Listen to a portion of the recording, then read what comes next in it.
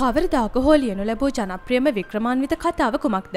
Robinson Crusoe Don Quixote Treasure Island සාමාන්‍යයෙන් එකිනෙකාගේ මතිමත අතර විධාකාරය ඒත් මානම් චන්දය දෙන්නේ ත්‍රී මස්කටියස් කෘතියටයි. ත්‍රී මස්කටියස් පොත සියවසකට ආසන්න කාලයක් තිස්සේ වැඩියෙන්ම අලවි වන පොත් අතර විය. ඇතැම් විට ඔබේ අත්තම්මා දැරවියකව සිටියදී මේ කතාව සිනමා හලකදී නරබා පිනා යන්නට ඇති අතර මේ මොහොතෙත් ලෝපුරා පාටකයෝ සිය ගණනක් විධ භාෂාවන් දොළහකින් පමණ එය කියවමින් සිටිති. ත්‍රී මස්කටියස් ලියෝ ඇලෙක්සන්ඩර් ඩුමස් ඕනෑම කාලයක පාත්ත පිහාටුව තීන්ත බඳුනේ ගිල්වෝවන් අතරින් විශිෂ්ටතමින් කිහිප දෙෙන අතරට ගෙනිය හැකි නව කතාකරුවකි. තමාට දාව ළමයින් පන්සියකට වඩා වැඩි ප්‍රමාණයක් ඉපදී ඇති බවට පුරසාරම් බස් කිරීමට ඔහු පුරදව සිටියය. ඔහුගේ තක්සේරුව ටිකක් විශ්වාස කළ නොහැකි ගනේ එකක් විය හැකිය. එහෙත් ඔහුගේ තරබාරු බව සහ විකාරරූපී පෙනුම තිබියදී පවා ඔහු කාන්තාවන්ට සමීප වූ බව නම් සත්‍යකි. තමා කිසි දෙනක විවාහ නොවනු ඇතැයි ඔහු පුන පුනා ප්‍රකාශ කළේය. එහෙත් ඔහු නිතරම පෝරාජයරු කියවන්නට වූ විට ඕගේ එක් ආදරවන්තයක් ඔහුගේ ස්ථාවරය බිඳින්නට සමත් වූවාය. ඇලෙක්සන්ඩර්ගේ සියලු නය පියවා දමන්නට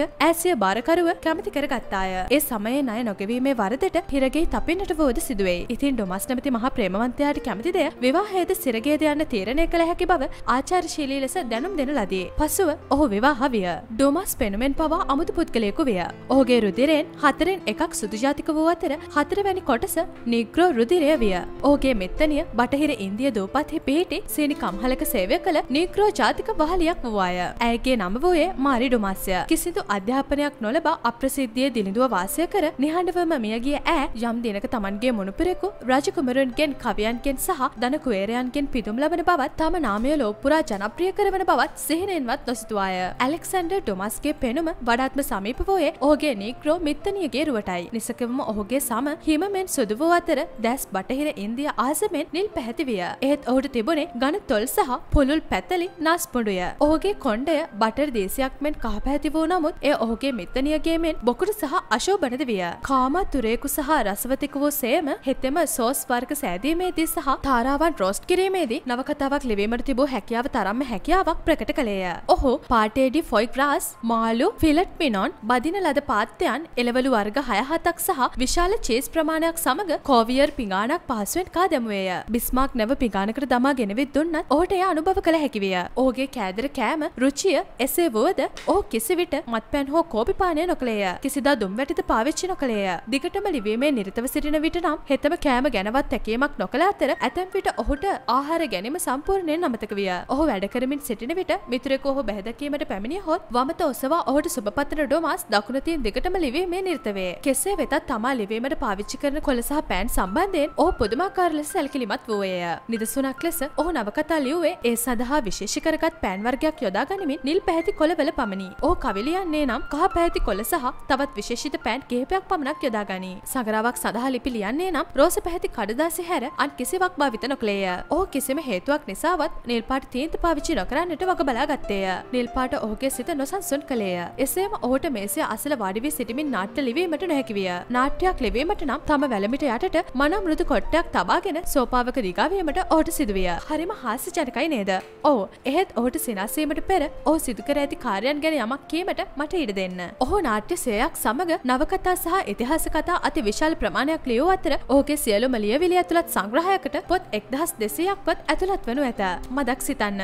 පොත් එක්දහස් දෙසයක් එය John Galsworthy George Bernard Shaw Robert Louis Stevenson HG Wells Rudyard කලිපිං Marie Robertson සහ සේන් බ්‍රේවිසින් ලියන ලද සියලුම පොත්වල එකතුව මෙන් දෙගුණ එක ප්‍රමාණයකි. ඔහු පවුම් මිලියනයකට වඩා එපයූ අතර එය යුගේ වෙනත් ඕනෑම ලේඛකයෙකුට ලංකාවීමට තබා සිතීමටපත් නොහැකි වූ දනස්කන්දයකි. සැබවින්ම අදිදක්වා මුළු ඉතිහාසයම සැලකුවද එවැනි වාර්තාවක් හිමි ලේඛකයන් සිටින්නේ අතලොස්සකි. එතකද වුවද ඔහුගේ පළමු නාට්‍ය දර්ශනය ඉදිරිපත් කරන විට ඔහු ඉතා දිලිදු තත්ත්වයක පසුවිය. වේදිකාවට රැගීමේදී පැළඳ ගැනීම සඳහා කරපටියක්වත් ඔහුට නොතිබිණි. ඇත්තෙන්ම ඔහුගේ ජීවිතයේ වැදගත්ම අවස්ථාවක් ලැබුණු එදින ඔහු පැළඳ සිටියේ කාඩ්බෝඩ් කෑල්ලකින් කපාගත් කරපටියකි. මේ තරබාරු දිලිසෙන ඇඳුම් අඳින යෝධයා තම මවට මහත්සේ ආදරය කළේය. ඔහුගේ පළමු නාට්‍ය ප්‍රදර්ශනය කිරීමට දින තුනක් තිබියදී ඔහුගේ මව අංශභාග රෝගිනියක බවට පත් වූ අය. එයින් පැරිසියේ ඔහුගේ පළමු ජයග්‍රහණය සනිටුහන් වූ රාත්‍රියේදී සෑම ජවනිකාවකටම පසුව වේදිකාවෙන් බැසගත් ඩුමස් ඔහුගේ දිගු දෙපාවල ඇති සියලු ශක්තිය යොදා අම්මා සිටි තැනට දිව්වේ ඇයට යමක් වෝමනාද යන්න බැලීමටය. එසේම මුළු පැරිසියේම ඔහුගේ නම මුමුණන්නට පටන්ගත් ඒ රාත්‍රයේ ඔහු නිදාගත්තේ මවගේ ඇද පාමුල අතුරාගත් මෙට්ටයකය. ඩුමස්ගේ පොත්වලෙන චරිත ඔහුට ඔහුට දැනුනේ සැබෑම චරිත මෙනි. සැබවින්ම ජීවත් වන අය ගැන මෙන් ඔහු ඔවුන් පිළිබඳව සිහින දැක්කේය. ඔවුන් ගැන ඕපාදූප කතා කළේය. එමෙන්ම වසර 100කට වඩා කලක් ගත වූ පසු අද පවා ඔබ වසඟ කරවන ආකාරයට ඒ මහත් අභිරුචියකින් ඔහු තම චරිත ගැන ලියා තැබුවේය. ඇතැම් විට ඔහු ලියමින් සිටින කතාව මගින් ඔහු සම්පූර්ණයෙන්ම පියවි ලෝකයෙන් ඉවතට ගෙන යන අතර එහි සිටින චරිත වර්ගයා ඔහු ඉදිරිපිට මෙසේ වාඩි වී සිටින කලෙකමෙන් ඔහු ඔවුන් සමග සිනා සෙමින් විහිළු කරමින් කෑ ගසන්නට වෙයි. බොහෝ නවකතාකරුවන්ට ලිවීම දැනෙන්නේ මහත් අපහසු කටයුත්තක් ලෙසය. නමුත් ඔහු අත රූකඩ වැනි වූ ඔහුගේ චරිත ඒ මේ අත කරකවමින් ඩොමස් සිතා ප්‍රීතිජනක ලෙස කාලය ගත කළේය. ජක් ඩෙම්ස්ගේ වැනි ශක්තියක් හිමිකර ගැනීමට වාසනාව ලද ඔහු වේදිකාවක් සවිකල අශ්ව කරත්තයක නැගී යුරෝපය පුරා සංචාරය කළේය.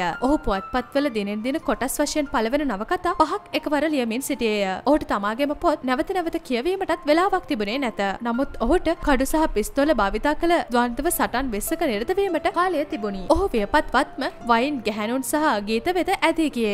නැහැ නැහැ මා වැරදිය. ඔහු මත්පැන් නොබී අතර ගීත ගායනා කළේද නැත. නමුත් ඔහු මහා පරිමාණයෙන් ගැහැණුන් ඇසුරු කිරීමට පටන් ගත්තේය. පැරිසිය නිදහස් ආකල්පයන්ට පාරාදීසයක් වුවද එහි පවා ඩොමස්ගේ අනුරාගේ ජීවිතය ගැන ප්‍රබල අපවාද සහ ප්‍රචාරයන් පැතිර ගියේය. අවසානයේ ඔහුගේම පුත්‍රයාද ඔහු පිළිකුල් කරන්නට විය. වරක් එක් පස්වරයක ඔහු හමුවීමට පැමිණි මිතුරෙකුට දක්නට ලැබුණේ ඔහු හුස්ම හිරවෙන තරමට තරුණියන් රංචුවකින් වැසී සිටින අයුරිය. එකියක ඔහුගේ දනහිසේ වාඩි වී සිටි අතර තවත් එකියක් ඔහුගේ පාද මත වැතිරී සිටියාය. තවත් තරුණියක් ඔහුගේ පුටුව පිටිපස සිටගෙන පහතට නැමී සිටියේ ඔහුගේ මහත තොල් සිප ගැනීම සඳහාය. පැණි කුරුල්ලෙකුට සෑහෙන නාන ඇඳුමක් තරමේ ඇඳුමක්වත් මේ කෙල්ලන් කිසිවෙකුත් ඇඳ සිටියේ නැත. රන් ආකර හිමියන් රැසක් විසින් ඔහුගේ සියලු මුදල් වංචාවෙන් ඩැහැගෙන අවඥාවෙන් යුතුව ඔහු අතහැර දැමූහ. එබැවින් ඩොමස් ඔහුගේ මහලු දෙවිය ගත කළේ කිසිවෙකුගේ සැලකිල්ලක් නොලබිමින් දිලිඳු බවින් සහ තනිකමින් පීඩා විඳිමිනි. ඔහුට ගෙවල් කුලිය ගෙවීම සඳහා තමන් සතු වූ රන්බඩු සහ අවසානයේ තම කබාය පවා උගස් කරන්නට සිදුවිය. ඔහුගේ පුත්‍රයා ගෙදරට අවශ්‍ය ආහාර පානාදිය සඳහා වන බිල් නොගෙවූයේ නම් ඔහු කුසගින්නේ මිය යන්නටත් ඉඩ තිබුණි. මිය යාමට ටික දිනකට පෙර ඔහු ත්‍රී මස්කටියස් පොතෙහි පිටපතක් කියවමින් සිටින දුටු පුත්‍රයා තාත්තා ඔය පොතට කැමතිදයි ඇසිය. "ඕ මං කැමතියි. ඒක හොඳයි." මහල්ලා පිළිතුරු දුන්නේය. "හොඳයි. එය හොඳ බව මමද කියමි. ඔබගේ මනසට සත්කාරයක් කිරීමට අවශ්‍ය නම් ත්‍රී මස්කටියස් පොත රැගෙන නැවත කියවන්න." එය පළ වූ පසු වෙනත් නවකතා දසලක්ෂ ගණනක් ලියවී අමතක භවෙහි ආඝාතයට වැටි මැකී ගොස් ඇත. ත්‍රී මස්කටියස් පොත අමරණීය බවට පත්ව ඇති අතර අදින් සියවස් දෙකකට පසුව ඔබේ මීමුණුපුරන්ගේත් මීමුණුපුරන් රාත්‍රියේ වාඩි වී එය කියවනු ඇත.